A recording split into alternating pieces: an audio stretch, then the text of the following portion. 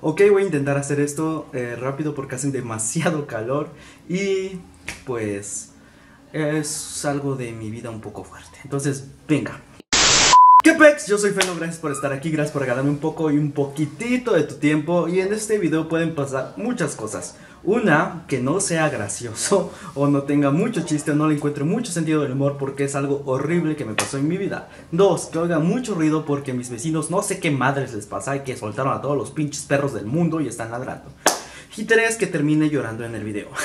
Cuando yo empecé o decidí hacer videos en YouTube, eh, es principal y únicamente, bueno, no únicamente, principalmente para evitar un poco la discriminación dentro de Oaxaca, provincia, lo que sea. Esta historia que les voy a contar es muy personal, es muy fuerte para mí, casi no la cuento, incluso muchos de mis amigos no lo saben, muchos de mis conocidos no la saben, y es algo que decidí guardar para mí, para sacarlo en un momento adecuado. No sé si me doy a entender por todo esto que está pasando, por lo de Kika Nieto, por homofobia que ha ido todavía dentro de, mi estado. Y, creo que, que, con este video se den cuenta o haya la facilidad de que podemos luchar contra la homofobia, que ya tenemos herramientas todavía para luchar contra la homofobia. Y ya no sé qué estoy diciendo porque realmente no sé cómo explicar o expresar esta historia. Pero ahí va. Pues todo esto es porque fui a la cárcel por ser homosexual. No a la cárcel, no sé si sea exactamente la cárcel, pero es cuando cometes un delito y te llevan preso. Desde un principio alguien paga una fianza y te sacan a las 24 horas. Como cuando estás borracho en el alcoholímetro. No sé si llaman perito, zampar, no sé cómo se llama, pero estuve encerrado, es el chiste. ¿Cómo pasó esto? Hace mucho tiempo, a los mis 21, 22 años, no recuerdo, pues yo tenía a mi novio y con él me daba la pequeña y libertad merecida de tratarlo como mi novio en la calle, tratarlo como mi pareja en la calle y en la universidad. Incluso en la universidad nos hicimos famosos porque nos besábamos, nos abrazábamos sin importar nada, o sea, éramos una pareja y lo veía normal. Y a pesar de ser de la facultad de psicología, eh, había mucho prejuicio incluso de la directiva. Una vez me intentaron correr de la universidad por besar a mi novio. Obviamente me puse como loco y pues no pasó. ¿No? Y aparte lleva buen promedio, así que me la pelan las Universidad del Golfo. Para los que no saben, yo vivo en Oaxaca, Todavía, eh, pues Oaxaca es un pueblo grande, eh, todavía está regido por muchas costumbres eh, tradicionales hasta el momento. Imagínense en ese momento cómo era. yo me agarraba, ahorita es como que un poquito más liberal, poquito, gracias a Dios pero antes era muy, muy, muy raro ver a una pareja de hombres agarrándose de la mano, a menos que sean extranjeros, o muy, muy raro aparece, aparece una pareja de mujeres besándose en la calle, o incluso dándose un gesto de amor. Entonces yo lo hacía porque pensaba dentro de mi cabeza, y en ese momento quisiera decirle tantas cosas a ese chavo que decía, ay, me vale madre que me vean besándome con mi novio, total es mi novio, que sí está bien, pero que también debes darse cuenta que el mundo no va, no iba a, a su ritmo, que está mal, que sé que el mundo debería no ir al ritmo, pero deberían de haber pues libertad de amar a quien tú quieras y de demostrarle cariño a quien tú quieras. Para no hacerse la más larga y para no terminar llorando en este video, en una ocasión en, un, en el centro histórico de esta ciudad hay una iglesia que se llama Santo Domingo, enfrente hay como que un área verde, plantitas y hay como que un balcón donde mucha gente se sienta, pues para estar con el novio, con la novia, para besarse, bla, bla, bla, bla, con los amigos. Y nos sentamos en ese lugar y pues como novios nos empezamos a besar, a abrazar. Y pues todos los que novios normales, ni siquiera estábamos fajando, ni siquiera estábamos faltando al respeto, a, a, la iglesia, este, no estábamos ni siquiera... Eh, como algo sexual, al así decirlo, simplemente nos estábamos abrazando y besando. Era en la tarde, no recuerdo la hora, y se acercó un policía ante nosotros. Ese policía nos dijo, ¿saben qué chavos? Los voy a llevar detenidos. En ese momento mi, cara fue de, ¿pero por qué? Entonces, ¿cuál delincuentes? El güey nos dijo, una señora los demandó, tal cual, una señora los demandó por estar haciendo faltas a la moral en la vía pública. Le dije, ¿qué falta la moral estoy haciendo? Estoy besando con mi novio. ¿Eso es falta la moral? Entonces, cual delincuentes, como si hubiéramos robado un banco, como si hubiéramos asaltado a alguien, que aquí no lo hacen, por cierto, este, se dejaron venir un chingo de policías, un chingo de policías, te juro eran como siete policías para dos personas. Y, empezó y uno de ellos empezó ya a manera más brusca de hablar, decir, oye, güey, te jalas o te jalo, te rompo tu madre, aquí no estamos jugando, bla, bla, bla, bla, bla, trépate a la camioneta. Incluso cuando me di cuenta había una camioneta de policía enfrente, me dijeron, jálate porque una persona te demandó y dijo que eres un pinche puto y bla, bla, bla. Palabras altisonantes de un policía. Entonces yo me quedé así de, ¿qué pedo? Y sí, por besarme con mi novio a una señora que estoy seguro que no sabía ni qué madres hacía, solo le molestó el hecho que un hombre se besara con otro hombre, decidió demandarnos o denunciarnos con la policía y pues la policía tomó la pequeña gran libertad de llevarme preso con mi novio, subirme en pleno centro histórico, andador turístico, a la camioneta como delincuente y llevarme preso. En ese momento pues no sabía qué hacer, así que agarré mi teléfono y le marqué a mi papá. Para los que no saben, mi padre es abogado. Entonces, pues es lo único que podría hacer. Entonces, llamé a mi padre con toda la... No vergüenza, bueno, sí vergüenza, entre vergüenza, pena, es miedo, no saber qué estaba pasando, decirle, ¿sabes qué? Me llevan preso. Y mi papá me dijo, ¿qué hiciste? Y dije, besé a mi novio en vía pública. Mi, para este entonces mi papá ya sabía que soy homosexual. No lo, tiene, no lo tenía tan como tan abierto o no lo tenía tan trabajado como lo tiene ahorita, pero sí, ya sabía que soy homosexual y que pues mi pareja era la persona con la que estaba. Fue muy cabrón vivir esa experiencia, fue muy cabrona la manera en la que me trataron los policías de camino a fueron insultos, fueron tan machín que te ves y tan puto que eres, fueron...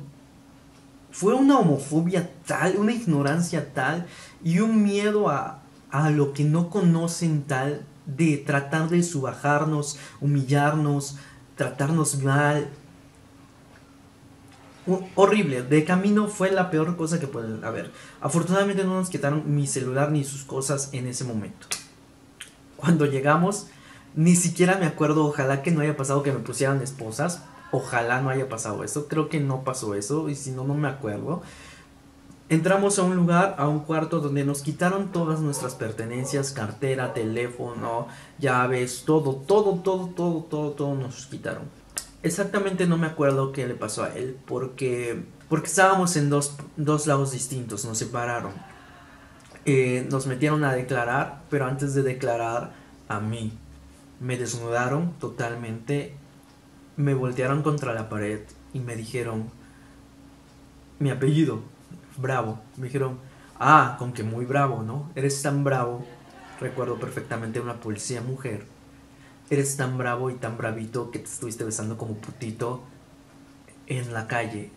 Y porque mi apellido Bravo y porque soy homosexual, la señora hizo que hiciera no me acuerdo si 20 o 30 sentadillas desnudo enfrente de ella.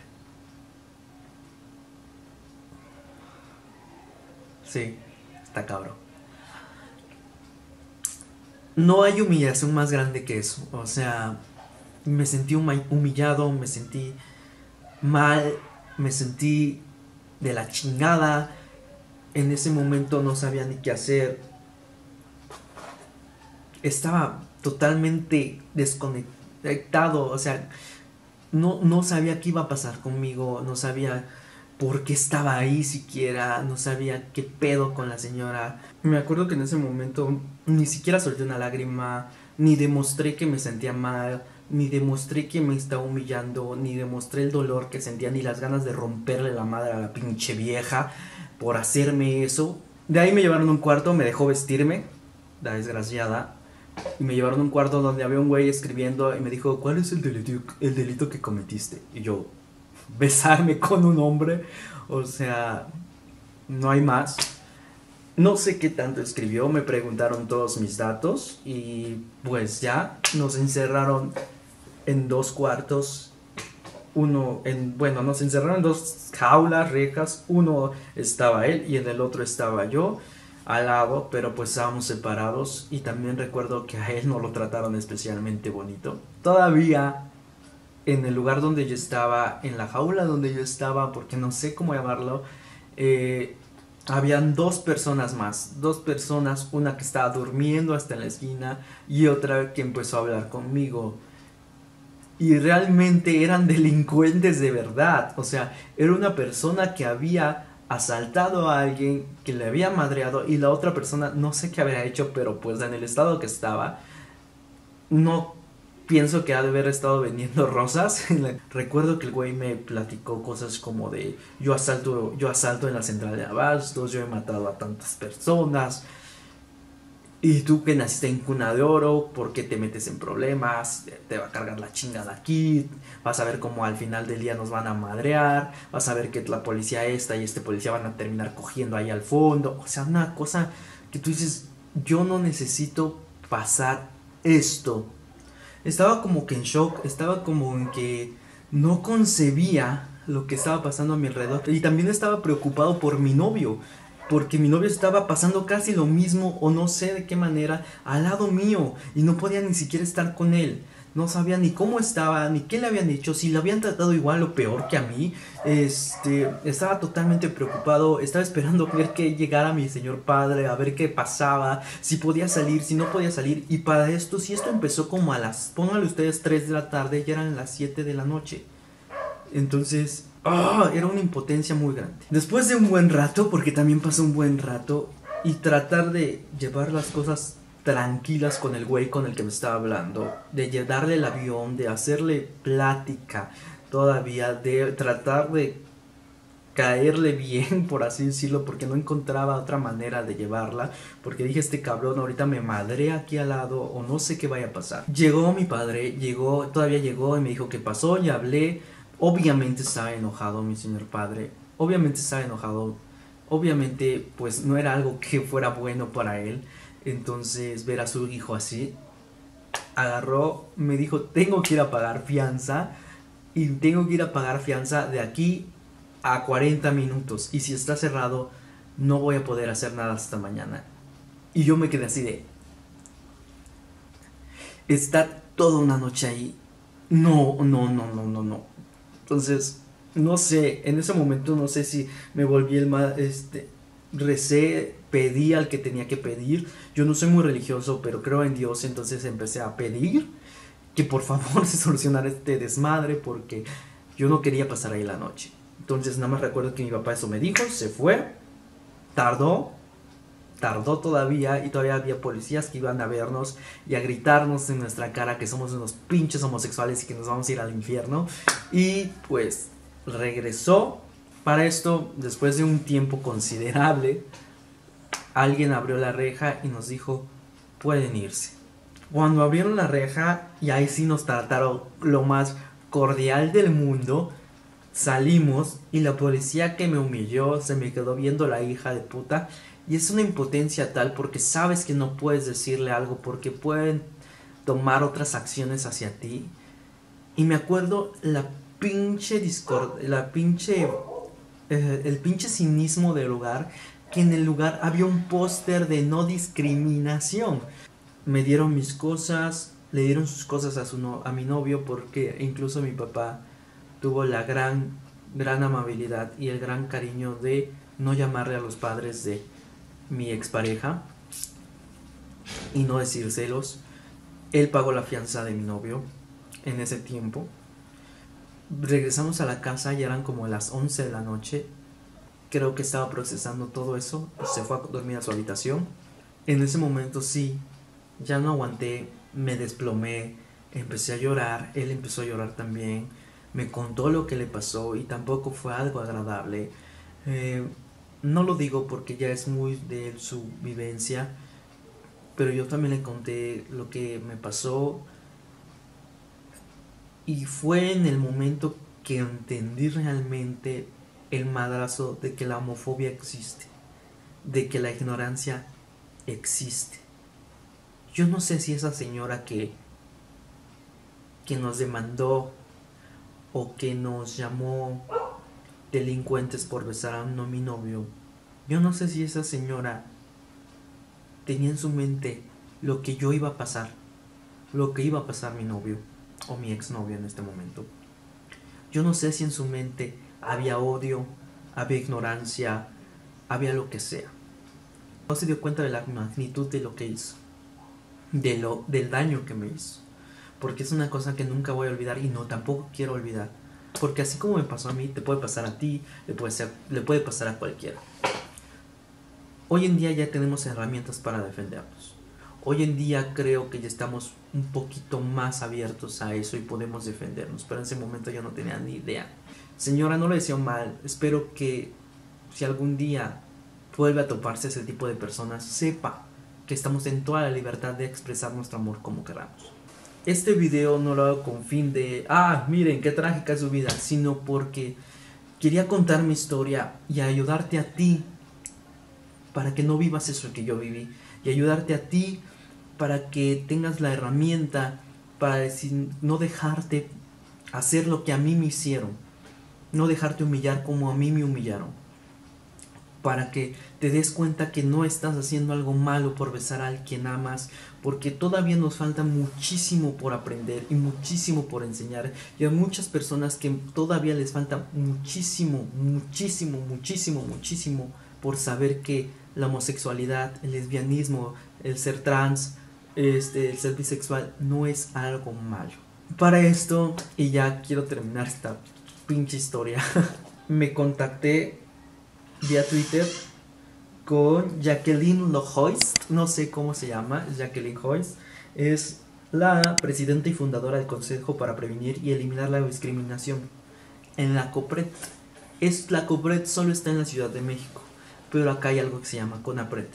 Le dije la verdad, mi historia, lo que había pasado, le conté a grandes rasgos lo que viví y quería pedirle ayuda para que esto no volviera a pasar, para que a mí no me vuelva a pasar y para que a ti que estás viendo, sean 10, 20, una persona que estés viendo este video, sepas cómo defenderte y que tienes derechos y que nadie puede discriminarte en ningún momento. Para esto ella me contestó muy amablemente, rápido, no tardó ni un día y eso que creo que es una persona muy ocupada. Sin embargo, se comunicó conmigo, me dijo que lamenta lo sucedido, que pues en el Estado de México es CONPRED, pero la CONAPRED es a nivel federal, entonces ahí pueden ayudarte. Y me dio este número que va a aparecer aquí, en el cual tú puedes llamar y puedes hacer tu denuncia y puedes ejercer tus derechos y puedes defenderte. Ellos te informan cómo defenderte, ellos te informan tus derechos, ellos también son una instancia legal federal que pueden incluso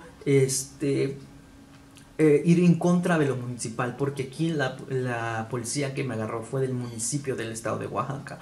Entonces, puede ir en contra incluso de la policía si están cometiendo un delito de odio o un mal procedimiento, que es lo que a mí me pasó. También viene una página de internet que se las pongo en este momento y también me sugirió, también me sugirió acercarme a la Comisión de Derechos Humanos de Oaxaca.